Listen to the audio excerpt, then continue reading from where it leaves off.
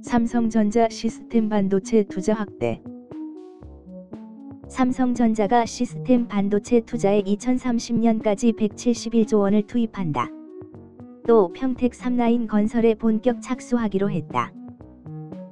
2020년 글로벌 반도체 매출 톱10 반도체 매출 1위는 미국의 인텔이 차지했다. 한국의 삼성전자와 SK하이닉스는 2위와 3위에 올랐다. 2021년 1분기 파운드리 추정 점유율 톱10 10위는 한국의 DB하이텍이 2위에는 삼성전자가 순위에 올랐다. 1위는 대만의 TSMC가 54.9%의 높은 점유율을 나타냈다.